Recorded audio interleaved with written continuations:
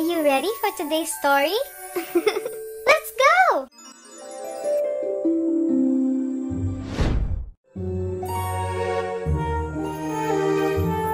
My bedtime stories.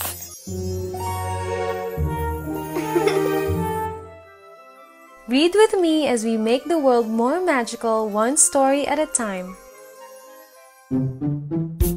The Little Book of Pets Written by Zack Bush and Laurie Friedman Illustrated by Sarah Van Evera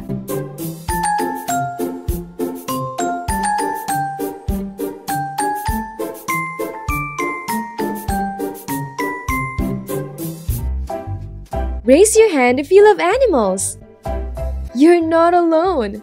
Lots of people love animals and have them as pets. There's so much to know about having a pet. Want to learn more? Just turn the page. There are some great reasons to have a pet. If you feel like having fun, you can play with your pet. If you're down or sad, a pet can help cheer you up and make you feel better. A pet can be your best friend. Having a pet is lots of fun, but it is also a big responsibility. You will need to feed your pet. You will need to walk your pet and clean up after your pet. You will need to make sure your pet has a clean, safe place to live and sleep. There are so many different kinds of pets. What pet would you choose? Rabbit? Frog? Hamster? Fish? Dog? Cat? Snake? Turtle? Bird? Maybe you want a pet, but your parents don't want one. Or they say that it isn't a good time to get a pet. Sometimes that is the case. It might be hard, but be patient. Lots of people have to wait to get a pet until the timing is right. What if you really, really want a pet, but your parents absolutely, positively say that you cannot have one? Don't worry! There are lots of ways to have fun with animals even if you don't have your own. You can have fun playing with your friend's pet. You can visit the animals at the zoo or on the farm. You can read books and learn about animals. You can paint a picture of animals. You can even volunteer at a pet store or an animal shelter. Whether you have your own pet or get to play with someone else's pet, there are some important rules you should follow when spending time with animals. Rule number one be gentle with pets. Don't make fast, rough movements or pull on an animal's tail or ears. Don't scream at a pet or squeeze them. If you are gentle with pets, you will help them stay calm. Rule number two Be safe with pets.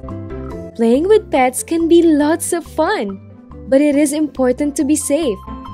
Don't touch an animal you don't know without asking permission.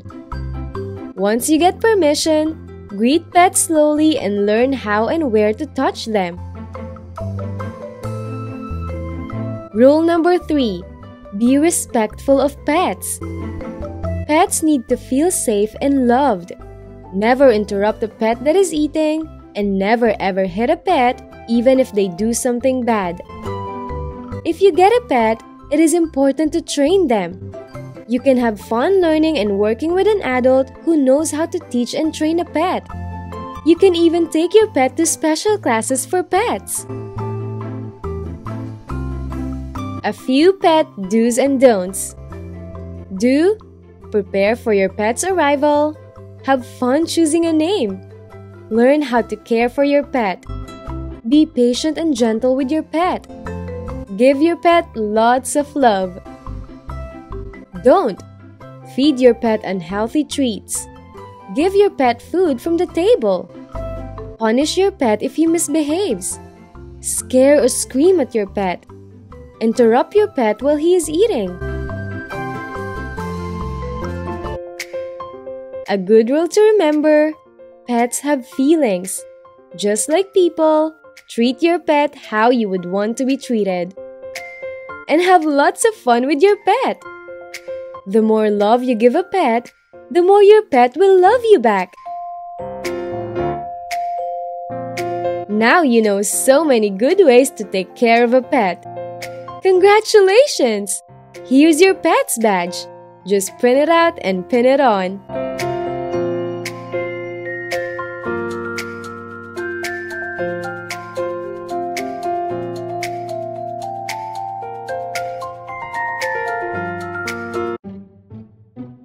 Thank you so much for staying and reading with me until the end.